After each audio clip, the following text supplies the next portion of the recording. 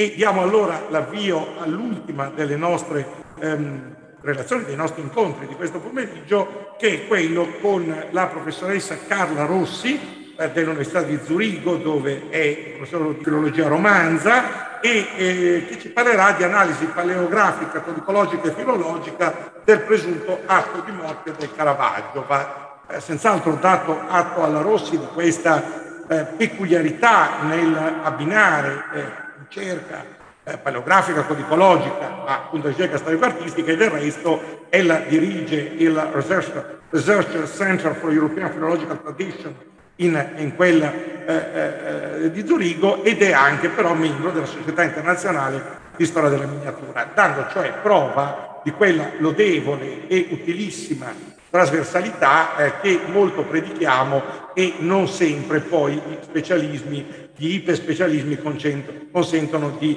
di, applicare. Quindi davvero grazie per questo eh, interessantissimo, immagino e spero e auspico contributo, l'ultimo della nostra giornata. Prego, Presidente.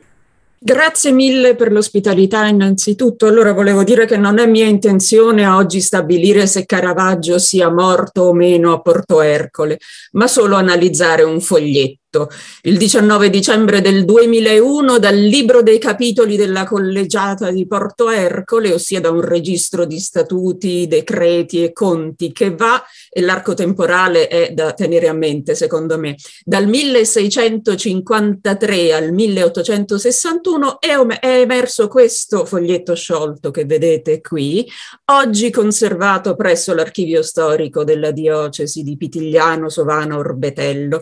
E il ritrovato ritrovamento è avvenuto ad opera dell'architetto Giuseppe Lafauci, appassionato storico locale. Di questo foglio è stato detto che si tratterebbe di uno dei documenti più ricercati della storia dell'arte dunque mi è parso che questo fosse il contesto migliore per proporne un'analisi che eh, riguarderà la carta, gli inchiostri, più di uno eh, un'analisi diplomatica e paleografica, anche filologico-testuale. Gli inchiostri ho detto perché in alto si vede traccia, c'è traccia di un secondo inchiostro diverso rispetto al primo che vediamo qui. Eh, Procederò esattamente secondo la stessa prassi che seguo quando case d'asta, gallerie antiquarie mi chiedono una consulenza in merito a documenti mani- manoscritti medievali e rinascimentali. Il foglietto così mostrato come lo vedete qui eh, ha la filigrana digitale della diocesi che ovviamente nell'originale non c'è, ma di filigrane eh, parleremo molto rapidamente. Non si sa bene se, si sia, eh, se questo sia un recto o un verso. Allora, girando il foglio si vede un'ulteriore scritta che è questa, a Li o a di 31 luglio, morse al Fier Gaspar Montero. Allora, vediamo meglio che cosa si legge in questo eh, foglio sciolto al 18 luglio 1609 nell'ospitale di Santa Maria Ausiliatrice morse Michelangelo Merisida Caravaggio, dipintore, per malattia. Il foglio è stato rinvenuto tra la carta 14 verso e 15 recto del libro dei capitoli della collegiata, posizionato nella parte bassa del registro, ve lo faccio vedere, questa è la foto scattata proprio al momento del ritrovamento dalla Fauci, si capisce eh, dove era ubicato proprio perché in alto vengono fuori così delle tracce dell'inchiostro del foglio eh, sottostante che è ad un'analisi poi più attenta che abbiamo fatto anche con la direttrice dell'archivio proprio questo foglio 14 verso. Quindi procediamo con un'analisi intanto del supporto cartaceo. Come sapete la carta è l'elemento eh, che ha incidenza maggiore nello studio del manoscritto rispetto alla pergamena. Perché? Perché permette di ricavare qualche dato in più in ambiti importanti come datazione, localizzazione, quindi uno strumento utilissimo per la datazione delle carte, dei documenti medievali, come tutti gli storici dell'arte sanno. Eh, è eh, almeno sino al 600, rappresentato dalle filigrane. Ogni cartiera aveva la propria filigrana, esistono tantissimi repertori eh, anche online adesso, Briquet, Picard, oggi dig- digitalizzati di tutte le filigrane europee e ovviamente le più famose in Italia sono quelle di Fabriano, ma in Toscana, specie a Firenze, le leggerissime variazioni nei disegni di queste filigrane permettono una datazione approssimativa al 90% dell'anno di produzione dei fogli, che ovviamente può essere molto differente rispetto poi a quello dell'utilizzo della carta. Quindi eh, non dico assolutamente nulla di nuovo, la cosa però che stupisce abbastanza è che della filigrana non c'è nessunissima traccia in questo foglio. Questo non significa che originariamente non vi fosse qualche filigrana possibile, come vedete qui da questo disegno molto rapido che appare a schermo, il foglietto poteva, poteva trovarsi in una posizione particolare in cui la filigrana non compare. La cosa interessante però è che nel, nei fogli invece del libro in cui è stato rinvenuto la filigrana, cioè è una filigrana ovviamente tipicamente italiana, con picche inscritte in un ovale, iniziale M sottostante all'ovale. Ma allora su che cosa ci dobbiamo basare per la datazione della carta? Se non abbiamo l'elemento principale che ci consente appunto di muoverci in un ambito temporale approssimativo. Ci basiamo su vergelle e filoni. Di che cosa si tratta? Allora ve lo faccio vedere rapidamente. Qui prendendo proprio ad esempio poi le vergelle e i filoni che compaiono eh, nelle carte del, utilizzate per il libro dei capitoli. Eh, si tratta delle, fo, delle impronte dei crini di cavallo lasciati sulla pasta morbida della carta eh, al momento della creazione proprio in cartiera di questa carta. E quindi eh, qui vediamo che si può calcolare la distanza di vergelle e filoni, ho sottolineato il più possibile eh, quale può essere la distanza nel libro, nella carta utilizzata nel libro dei capitoli. La faccio breve ovviamente, prendete per buono tutto quello che vi dico, è la stessa che eh, possiamo ritrovare su questo foglietto. Quindi questo ci permette una datazione approssimativa della carta. Andiamo avanti per datare, per cercare di saperne qualcosa di più di questa carta, ci basiamo, così come eh, facciamo di solito quando analizziamo anche le pergamene, sui fori di cucitura che qui compaiono in maniera molto evidente, lasciando intendere cosa? Lo vedete? Eh, che praticamente il recto del foglio doveva essere quello in cui è stato trascritto eh, è stata trascritta, è stata riportata la morte di Alfier Gaspar Montero, perché, vedete, sono qui sulla sinistra i fori di cucitura. E quindi, qui vedete, eh, se dovessimo posizionare questo foglio all'interno del libro in cui è stato trovato, eh, avremmo alcuni dati interessanti. Intanto notiamo che c'è una rifilatura del foglio con tagliacarte, quindi questo può spiegare perché non troviamo una filigrana. Ma soprattutto andando poi a fare un'analisi proprio dei fogli, dei fori di cucitura, sono gli stessi che eh, riguardano le varie carte del libro eh, dei capitoli. Quindi questo che cosa ci porta a, a dire? Abbiamo due rifilature importanti con tagliacarte, quindi c'è stata una precisa volontà di tagliare via qualcosa qui, mentre il bordo originale non rifilato è quello di sotto e questo che riporta i fori di cucitura. Allora, poi altro elemento per noi importante eh, è che troviamo traccia in questo foglio sul lato eh, in cui è riportata la morte del Caravaggio di eh, tracce di inchiostro, come vedete. Poi metteremo in evidenza anche il fatto che questo inchiostro particolare ha lasciato dei segni evidenti nella carta. Allora, si tratta di aste discendenti o ascendenti? Questo non lo sappiamo a seconda di come si giri il foglio. Eh, potrebbe trattarsi qui, ad esempio, di una P, ma se lo giriamo diversamente, anche di una B, insomma, è abbastanza complesso qui capire che cosa poteva essere scritto in questo foglio, però qualcosa appare subito evidente, lo vedete anche a occhio nudo qui, gli inchiostri del libro che troviamo nel libro, nel registro dei morti di Porto Ercole, perché esiste un registro ufficiale in cui, come sapete benissimo, eh, la morte di Caravaggio non è riportata né per il 1609 né per il 1610, è riportata invece quella di eh, Montero.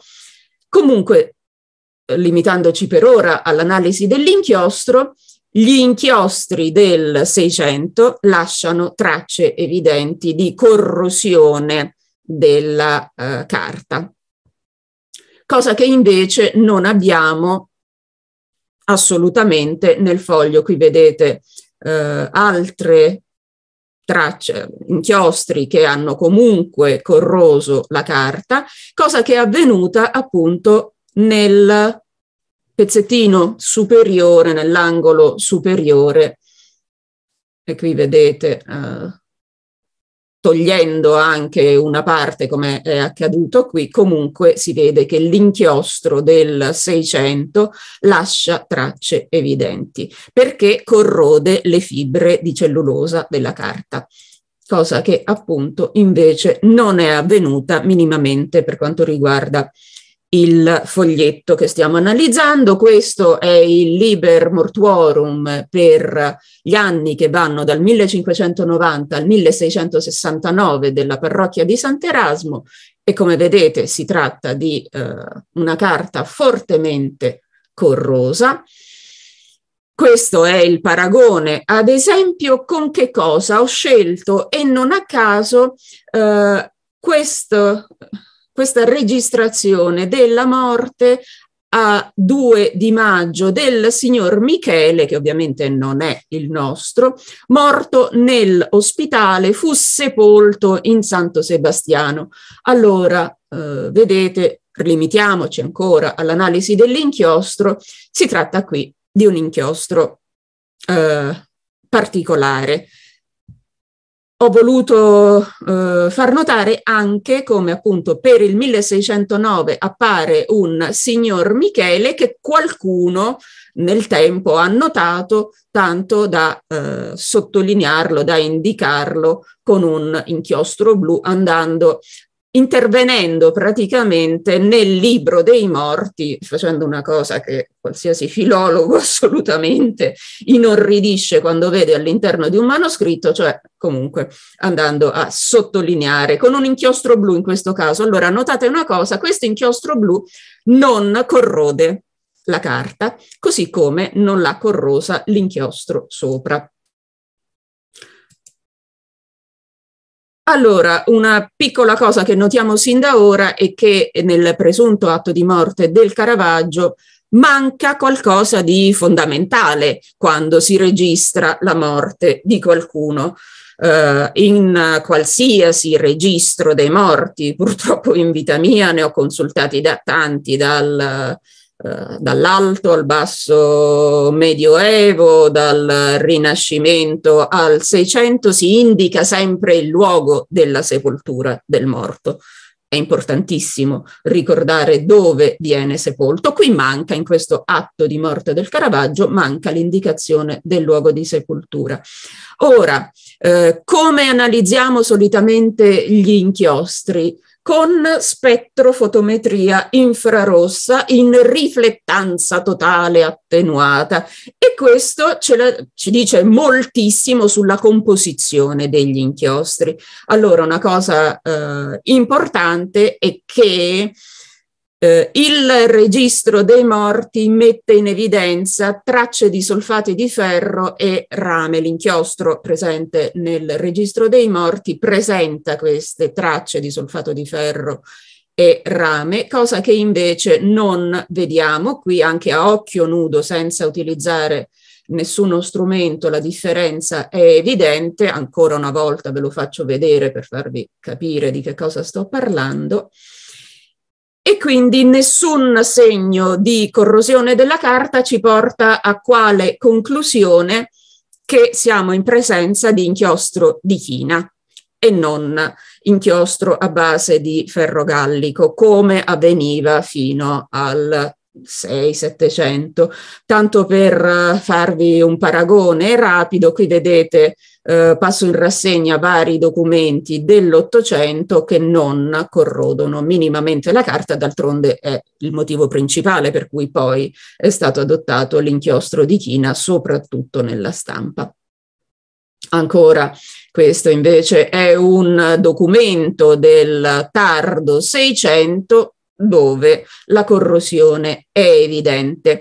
Passiamo molto rapidamente, non voglio prendere troppo tempo, ad un'analisi diplomatica e paleografica di eh, questo documento, chiamiamolo così, allora, eh, sappiamo una cosa importante, questa che vedete non è la mano del piovano che teneva, che teneva il registro dei morti che vi ho mostrato prima. Eh, si chiamava Jacopo de Ventura e nel 1609 a quanto pare De Ventura non si trovava a Porto Ercole ma a Roma e allora alcuni hanno mh, ipotizzato che proprio questo sia il motivo per il quale eh, la morte di Caravaggio non sia stata registrata ufficialmente nel registro dei morti. Però questa non è neppure la mano del suo sostituto, padre Guglielmo Guglielmi,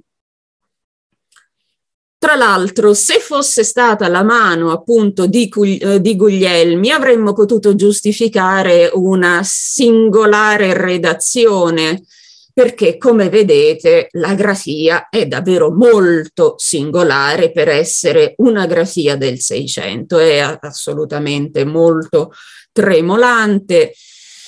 C'è Inoltre, un'altra anomalia in questa registrazione compiuta sul foglio sciolto, ossia proprio l'utilizzo di entrambi i lati della carta e questa linea tirata qui, che ha un senso nel registro dei morti, perché allora si tira una linea e si annota la morte di un'altra persona, mentre qui si tira la linea e sotto non appare assolutamente niente, bisogna girare il foglio per trovare invece l'annotazione della morte di Montero, che anche se è in posizione anomala perché è perfettamente giustificata, abbastanza strano.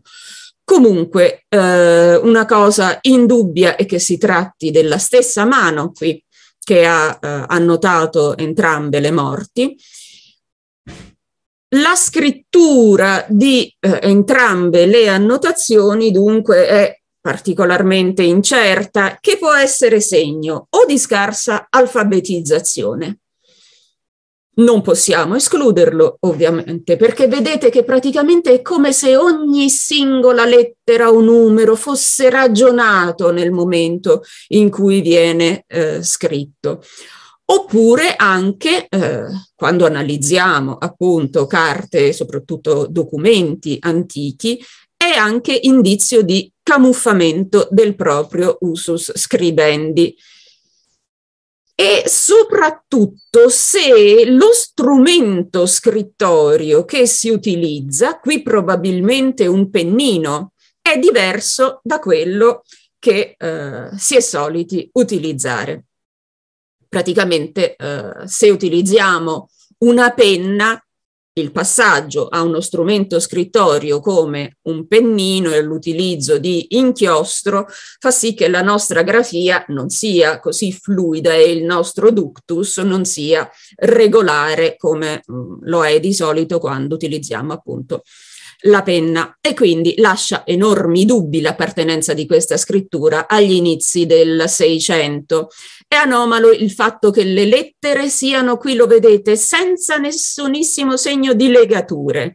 È troppo recente il disegno delle lettere con occhiello A e O, eh, della V anomalo per l'epoca poi il segno della R, il modo in cui è stata tracciata la R.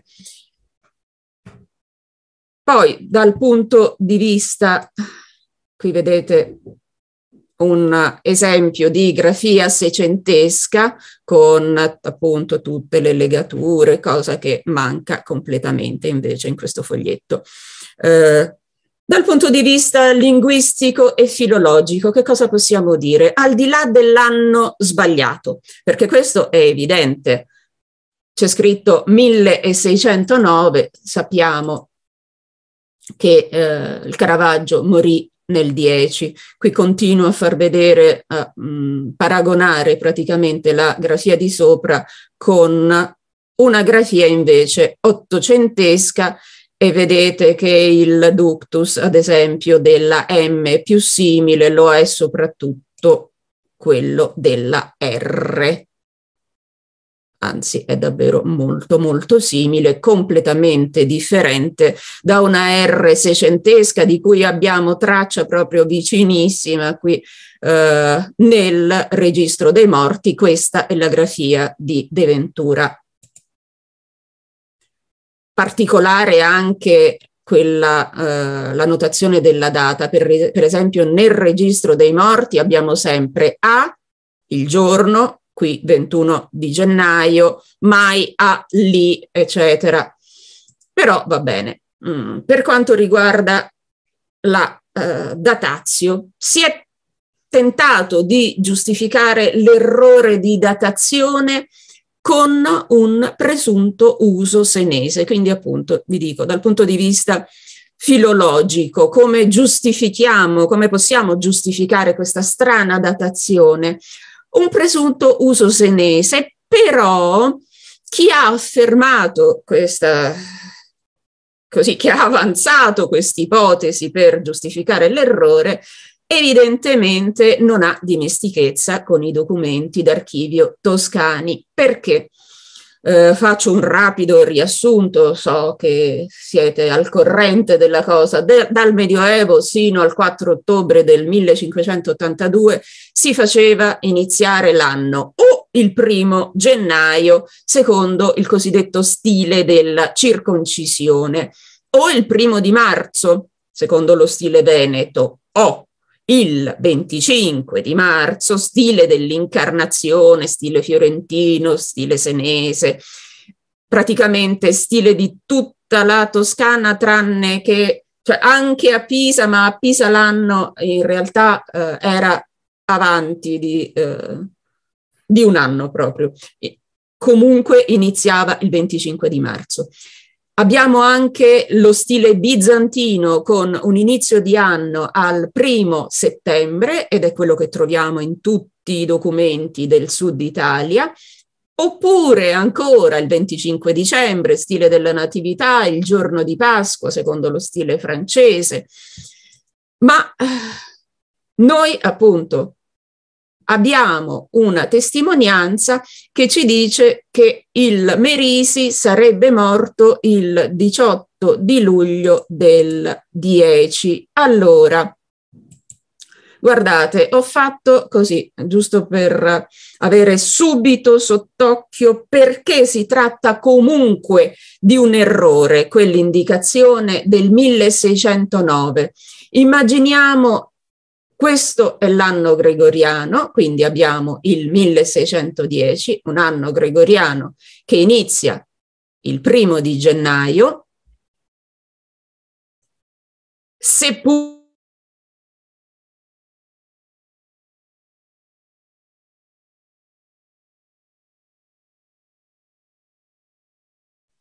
È interrotto l'audio, professoressa.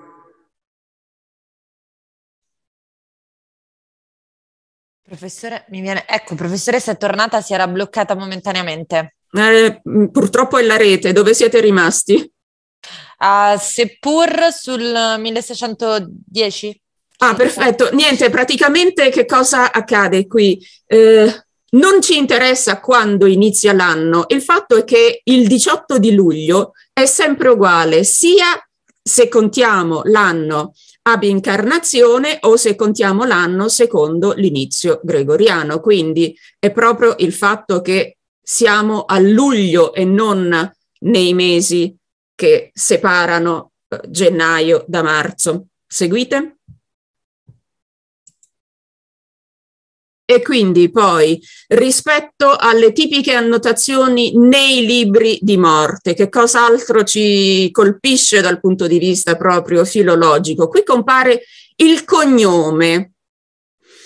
Si è eh, parlato prima di Federico Borromeo che scriveva del Caravaggio chiamandolo Michelangelo Caravaggio non aveva eh, riportato, non, non, si parlava del cognome, non, non, veniva presentato come Michelangelo Merisi da Caravaggio, dipintore, tutte queste indicazioni sono molto partico- particolari. Linguisticamente è anomala, per esempio, qui in questo contesto in cui troviamo morse, che è un verbo di uso trecentesco, cioè dal 300 in avanti di area toscana e proprio della lingua curiale anche, lo nota lo stesso Dante nel De Vulgari Eloquenzia, e, ed è un verbo utilizzato nel registro dei morti, però il nome è angelo e non agnolo, ad esempio, come sarebbe normale, verrebbe normale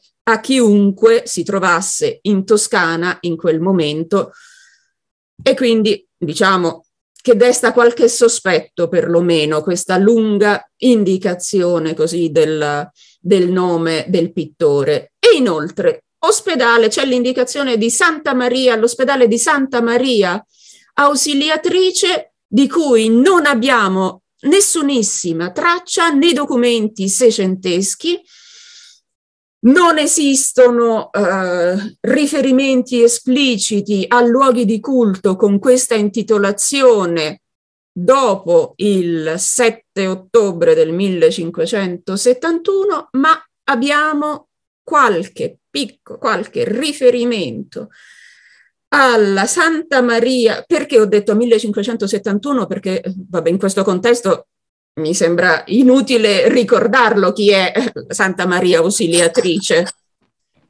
Comunque, ovviamente è la Madonna che ha aiutato durante la battaglia di Lepanto, per questo ho fatto riferimento al 1571.